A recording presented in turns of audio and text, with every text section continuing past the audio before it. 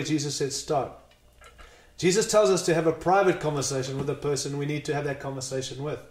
How? I think immediately. I think the sooner the better.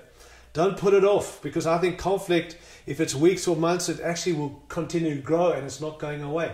So the sooner the better. If there's an issue, deal with it. Get in touch straight away and deal with it. I know people say we need to do it face to face. Well, that's ideal and that's helpful. But if you don't have that moment, then get on the phone and sort it out. But don't post about it. Don't send messages or text or email. Call that person or, or hopefully face to face. But immediately, friends, because uh, I think the offense tends to get blown out of proportion the longer we wait to address it. Another thing is to try, as I just said, try meet face to face. I mean, that's the ideal right there. Face to face, genuine heart and understanding. Jesus said, Go and show them their fault. Go to them and show them their fault. Anything less than a face to face conversation places a barrier between people involved. In saying that, I know it's not always practical, then get on the phone, but don't wait for six months till you can see that person. Get on the phone and work it out. I think we've worked out a lot of stuff on the phone because people catch your heart, not through email, through text, but through phone call or FaceTime or something, but immediately, all right, and face to face. Then it's important to affirm the relationship. I really do believe it. We can do so much if we just affirm what we've got rather than say, hey, I've got this issue with you. Rather go and affirm our relationship. Say, hey, man, I believe in what we're doing. I believe in you.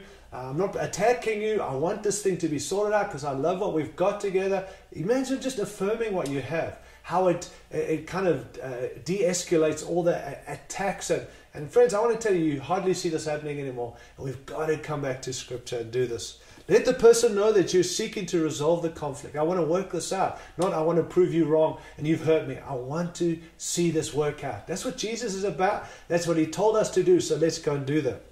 We don't want to assign blame. I want to say, let the person know up front how much they mean to you. Make sure, and not blow wind in their ears. You better have that heart of, I want this to work, and God, give me the heart. So when I go and speak to them, I'm not just complimenting them, I'm meaning it from my heart. It's also important to make observations and not accusations. Uh, friends, I want to tell you how many people come and say and accuse me rather than observed. If they said to me, Tyrone, I've seen this and it looks like you did this, it's so much easier than say, You did this and I'm accusing you of it. It's, I, I, it's harder to respond when you're accused rather than if people observe and say, hey, I've observed this and I want to just kind of work it out. What does it mean? And friends, again, simple truths, but we're not seeing it play out right now. And I think we can and we should and we need to come back to it.